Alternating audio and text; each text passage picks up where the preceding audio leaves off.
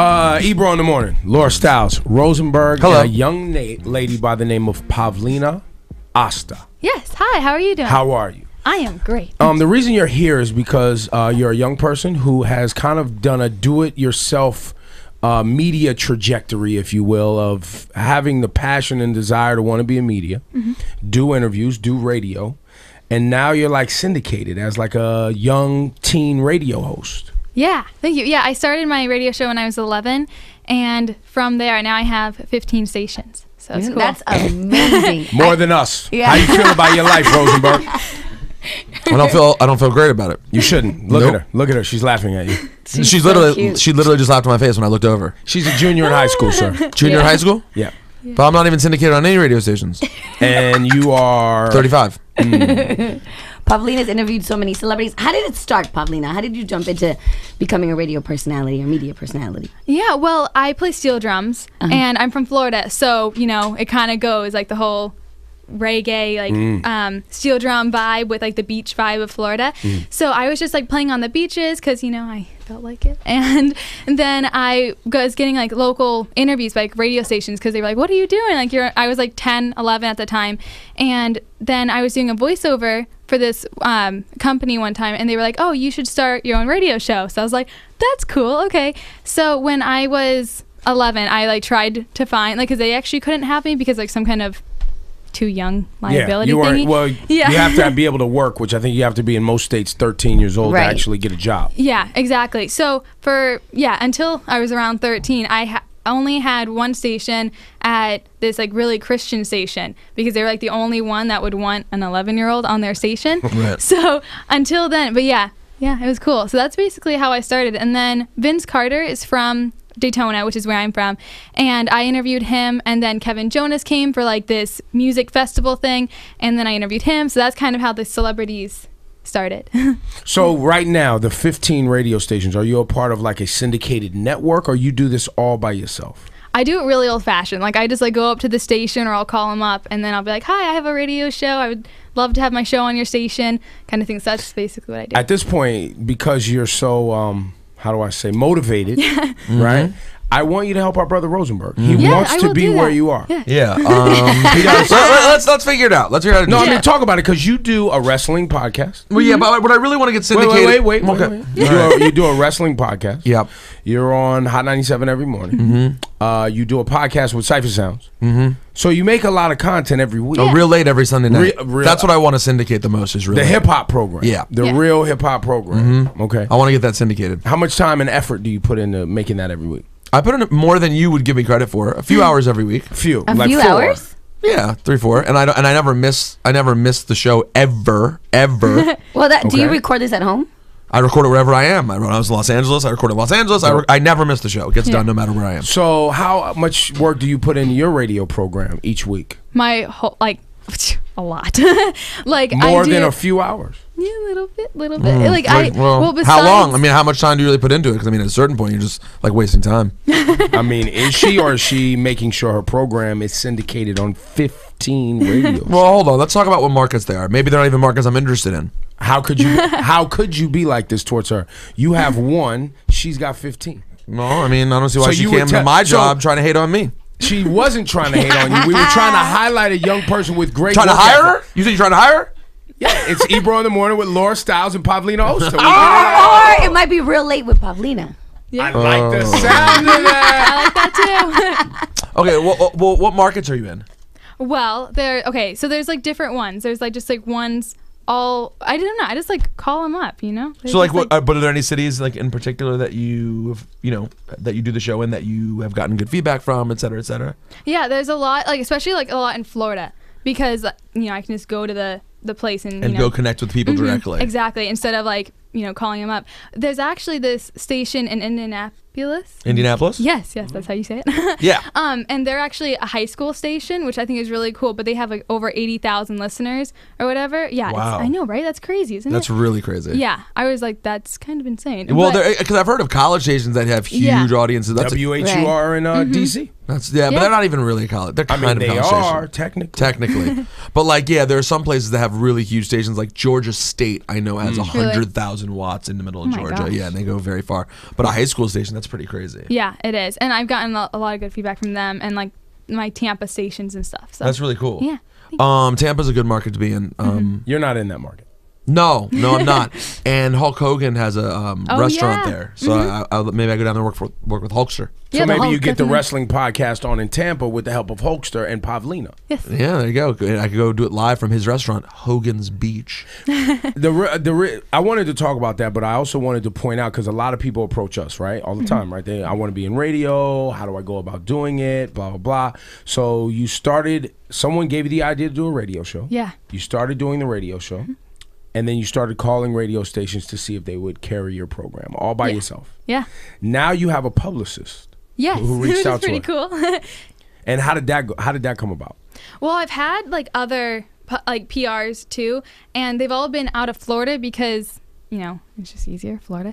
And I don't know, like they weren't they weren't as Did you call good. them also? Yeah, I called them. Yeah, and like I would, my mom would do a little bit of like helping me out because I I am still in public school, so they would she would help me reach out a little bit to them too. So she would make some phone calls for you. yeah, So you're recording the programs where exactly? in my room, I have like an MP3 and I like pre-record everything and then I put it all together like on GarageBand. I kind of want to like get out of GarageBand, but you know. That's a whole different And- conversation. Wait, we can talk about that. I can maybe Yeah. help you with that. Maybe I could offer her some help. Well, like that. a pro, get her on the Pro Definitely. Tools. Yeah. Uh, um, yeah, I don't use Pro Tools. I use something even easier. That's a kind of between GarageBand and Pro oh, Tools. so like an intermediate between. yeah, well, it doesn't require the plugins and outside stuff that Pro Tools requires. Got it. You can just jump right on your computer and do it. But I think it's a little easier than um, than GarageBand, which is kind of clunky to me. It is. I don't. I'm not crazy about it, but it's like the only thing I. I don't know. I haven't really because that's what I've always used, and like for my video editing for like my uh, interviews, that was like a little bit more for me, I guess. You know, like so I went from iMovie to Final Cut Pro X, which is like my life now. I love it. You love Final Cut Pro X? Yeah. So you I like edit it. all your videos also. Yes. Yeah. I like editing. It's fun. I mean, this. Uh, Rosenberg. Yeah. How do you get your videos done? me? Yeah. Well, I used to edit my videos, Mm. and now we have a That's fine. how you got here. yeah, but now we have a team here. Now we have a great video department. We have an amazing Yeah. video department. But So, do you, so I do you- even less work. the, yeah. the stuff that got you here, like the parody songs and videos. I do parody songs here and there. Oh, Not the- really? yeah, here that's there. cool. You know, but not. I don't not not the videos that you were hoping I would do. No, No, I that's don't really do that. Um, All right, Paulina, what are, yeah, what are some change of, subject. Yeah, What else- what what are else? some of your favorite interviews, your favorite celebrities that you've gotten to sit down and chop, chop it up with? There's been a lot because like there's been over 400, so it's like oh my gosh. Um, I love you know I obviously that's love, almost too many. Let's be honest. Almost too many interviews. Too many interviews.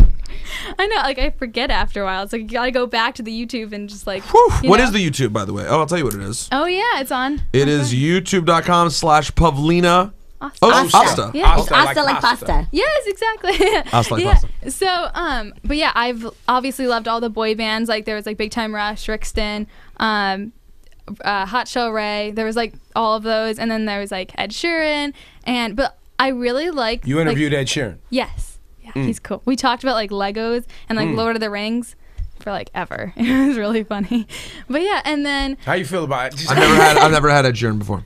Never had he's him. cool. What about Shaquille O'Neal? You interviewed. Yeah, Sha- I interviewed uh, Shaquille O'Neal. Yeah, he's like all my like athletes and everything. Like, and since being from Daytona, uh, we have NASCAR. So like all the NASCAR races it was actually pretty cool because I was never allowed to be on um, like the garage area where the cars are because of like you have to be 18 for insurance and stuff. Right. And I was actually the youngest one to be on the track, and I'm still not 18, so it works. I don't know if you're Pretty supposed to say anything because I mean, it might get NASCAR. Yeah, don't trouble, dry snitch on yourself. Come on. We gotta teach her. We gotta teach her these things. So she's getting NASCAR interviews. Yeah. Uh, Shaquille O'Neal, Ed Sheeran. He was cool. Any other Oh, names? Any else? other Yeah. Well, I like all the like the legendary people. I think they're really really Uh-oh. cool. Like yeah. who? Well, like there was like Gregg Gregg Allman was really cool. And no one said I would Gregg like, Allman from the Allman Brothers. Yeah, it's no a big one- one. You, it's major. That's major. Yeah. Yeah, no one said I would like everyone was saying, "Oh, you're not going to like him." Like he was he wasn't nice or whatever. And I thought he was really nice. Really? He liked Yeah. You. Mm-hmm. Well, you, you have a, see the thing is you're you have a really good situation because you're really good at what you do. You work really hard. Yeah.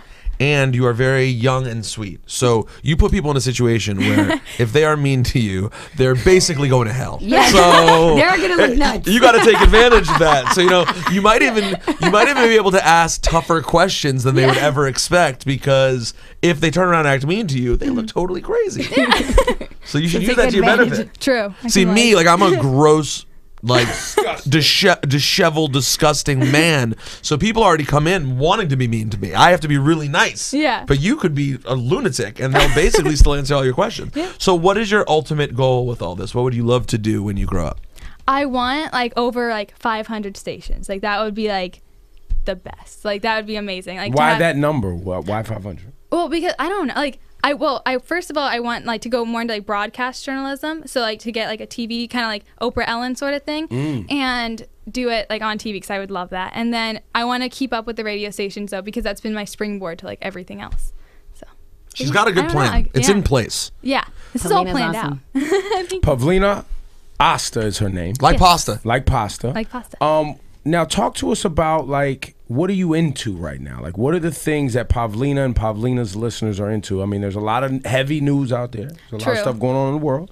There's a lot of new music. Like what's the big topics that when you're thinking about the stuff that your listeners want or want to talk about when you're doing your interviews? What are those things? It really depends on the interview. Like if like when I interviewed Shaq, um, it, it was at a book signing, so I would talk about his book or something. I don't Oh, so know. you do like- research before Yeah. you- Oh, I do so. Oh my. Each one is like a book report. Like Mm. yeah. How much time do you spend researching Rosemary? I mean, it depends on the interview. You know, Yeah. some interviews a, a good amount, and others less. It just depends. Can you define good amount, please? Um, well, you name the person, and I'll tell you how much research I did. Pavlina Osta. I, you know, I grabbed her card. Here it is. I uh, I read over the back of her card. Oh yeah. Yeah. Has I lots of said this morning, excuse me, I said this morning, my direct quote was, Who's Pavlina Osta? Yeah, he. And Laura answered, and I said, That sounds really interesting. I'll be there. Yeah. And I'm here and asking questions. So I did my. That I was do- your contribution. Yeah, I did some research. You know, Yeah. depends. So, any tips you would give to the young people watching this? Um, I'm sure a couple of people are going to click on this who want to be where you are or Yeah. want to be where we are, right? Definitely. Um, what's some tips that you would give them? Like, what's the one thing every day that you're making sure you're doing, Mm-hmm. and what's the few things that you're working on to get better? Yeah, well, I think well, since I started when I was 11 and like by the time I was at least 13, like I knew this is what I wanted to do. So I think starting off when you're like younger and finding what you want to do when you're younger is really like beneficial. Like it's really it, like hel- I don't know because that way I'm not like thinking about because I have a lot of friends that like don't know what they want to do, you know? Oh no, at 15? I'm just, but actually, I'm teasing, but Yeah, yeah, it's yeah. very funny that you are 15 years mm-hmm. old, and that is literally the number one bit of advice that I give to people who are her age and older. I say, you should really, if you can figure out what you want to do earlier, it's a lot easier to get there, and you're mm-hmm. living proof of that. Yeah, exactly. Yeah, that, thank you. because I don't. Yeah, I just think it's so much easier. Cause now, like I like when I was at NYU, I know what schools I want to go to, like what I would want to study, and all that stuff. It's just I feel like it's so much more planned out, and like Yeah. Sidebar. Yes. Um, I met Pavlina at Yeah. Mm-hmm. NYU. I went and talked to a class there. They have a uh, Clive Davis music program, and she was one of the high school students in said program. They Oh, got wow. invited to Oh, live okay. in New York for the summer. Wow. And so she had to turn in all of her accomplishments that she was trying to be in media around music, blah blah blah, so that she could get accepted to the program. Mm-hmm. Yeah. Wow. Okay, very good. So that's Got one you. of our first meetings. got yes, it. Okay. it was very cool. Everyone. Well, have you got? Wait, hold on. I mean, that was one. You said one of your first meetings. Did you have other? Second, right now. Yeah. It's the second meeting. Do you think this will probably be it though? You won't have any more meetings, probably. It's Well, probably. I think I'm gonna have her back. Yeah. Oh, cool. I need, yeah. I need some Ooh. yeah, uh, we're talking about that. Yeah. show prep help. Yes. I need Definitely. someone to do research because I love Eh, she's research. but yeah, but she's got school. You know, Ah, we can She's busy. communicate while you're at Yeah. School. Eh, you don't want to distract her. I just think she should probably just do her schoolwork and work towards the future. Do you see what's happening here? You understand what he's trying to do? No. And you're okay. You're gonna because when you get I'll to move up this, to New York. It's okay. No, I don't Talk think you should. talk. Uh, yeah. Florida's Come on, Pavlina. Florida's got a, a lower cost of living. Um, Better like tax Florida. situation. It's boring. no, Florida's the best. You should stay in Florida. stay in Florida. What city are you in? Tampa. Oh, well, no, Daytona. Which is Oh, like. Ah, Daytona! mwah, it's one of the No. best, one of the best cities in the world. Culture. It's got culture. It's got have no food. It's got class. It's got NASCAR. It's got everything you need. I don't see why you should ever come here. You should go to But Daytona. Pavlina, what, You what want to you're witnessing? All right, can I'm, you know what? I'm gonna go to Daytona. What you're witnessing is actually the competitive environment that is the largest media market because Yeah. people will, as you can see, Rosenberg, Mm. try to deter you from potentially taking their slot. I'm not trying to deter her. I just we think can Florida's be nice. co-anchors or co-hosts. I don't know. Wait, you wouldn't stand next to Pavlina Osta? You wouldn't? You think you're too? I just I have- mean, it seems. No. I, I, listen, I think she's great. Pavlina, are you into wrestling at all? um, I'm a black belt in karate. Ooh. okay. So she I can kick like, your I ass can't do too. much more than that, but yeah. A black belt in karate. Yeah. She h- works harder. She could kick your ass. it's tough for you out here, Rosenberg. It's quiet. it's very quiet for me out here right now. So, um, those things you focus on for work. I took Yeah. you on a Oh, yeah. tangent. So your your daily is focusing on what? Well, uh, besides you know, you know, going to high school and stuff, um, I I don't know. I do like a lot of research, and like like we were talking about before, I think research is like super important, so you know your like subject, you know. Um, but I like I find out who's coming to Florida because like I do inter- I go on location for all of my interviews that are around Florida, or like if it's a red carpet in like Nashville or New York or LA or something, I go there. Um, but I find out who's in like the area. I'll do the research for them, and then I'll send out a media request to see if I can get that. If I get the interview, then you know, yay! And um, yeah, and uh, so I'll do the interview, and then once a week I have my radio show, and I usually do like on a Monday, Tuesday, because there's some stations on Wednesdays and like Saturdays, so it's like different days. And I'll you know put the show together, and then yeah. Takes Hello. Hello. hold on, guys. Hold on. Yeah. Ooh, this is your team. They said we gotta wrap it up. yep, she'll be right out. She'll be right out. Okay. More hate from Rosenberg. Pavlina, you have successfully made Rosenberg uncomfortable. Congratulations. Yes. Yes, Thank you. congratulations, Pavlina. Uh, there's some young people standing in the room right now who you've made barf on themselves because you're outworking them. Thank you.